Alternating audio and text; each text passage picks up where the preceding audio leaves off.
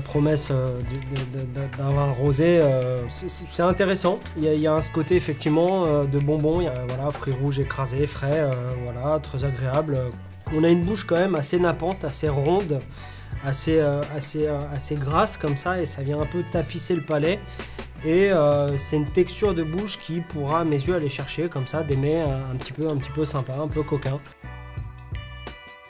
Faut aussi se mettre en, condition. Je pense que c'est ce genre de vin qu'on boit peut-être euh, à une terrasse, dans de beaux hôtels, euh, autour d'une piscine, euh, quand il fait très chaud. Je pense que ça peut avoir beaucoup de, succès. Il a les caractéristiques de ce qu'attendent certainement la jeunesse, c'est-à-dire une couleur pâle, pas dans les arômes saumonés, et avec ce, goût de bonbon anglais. Et si on veut faire des, des mélanges pour faire des cocktails à partir de vin, c'est une, une excellente base.